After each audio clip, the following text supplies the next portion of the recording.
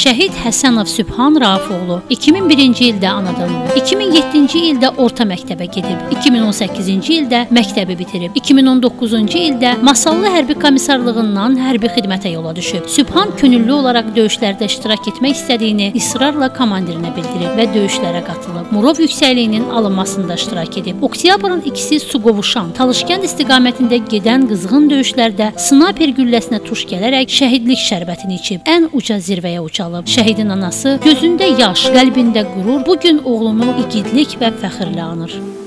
Mənim oğlum şəhid oldu. Bütün şəhidlər mənim öz balalarımdır. Sübhanla bərabər onlar da mənim balalarımdır.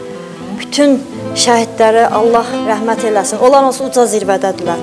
Onu bilirəm ki, onlar ölməyiblər. Mən Sübhanın şəxsən yanımda hiss edirəm. Bilirəm hardasa mənə baxır. Onu mən bilirəm.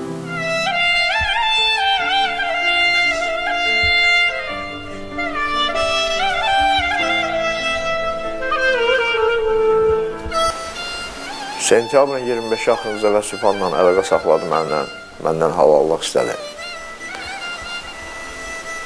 Və dedi ki, dedim ay bala, nə olub? Dedi, bəs inşallah qabağa gedir. Hazırlaşırıq. Hara gedəcəyi barəsində soruşdum, heç bir məlumat vermədi, heç nə demədi.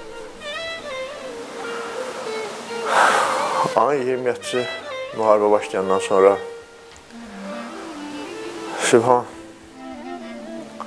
Murovdağ istiqamətində Suqovşan Kəlbəcər istiqamətində, Talıkənd istiqamətində döyüşlərdə iştirak eləmişdi. Oktyabrın ikisi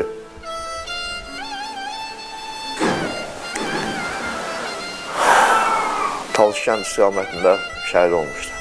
Ağlama ey əziz ata Uca tut başını. Qəhrəmandır elim mənim Silər göz yaşını Gəldi getdi çatmır əl balana. Canımız qurban gözəl balana.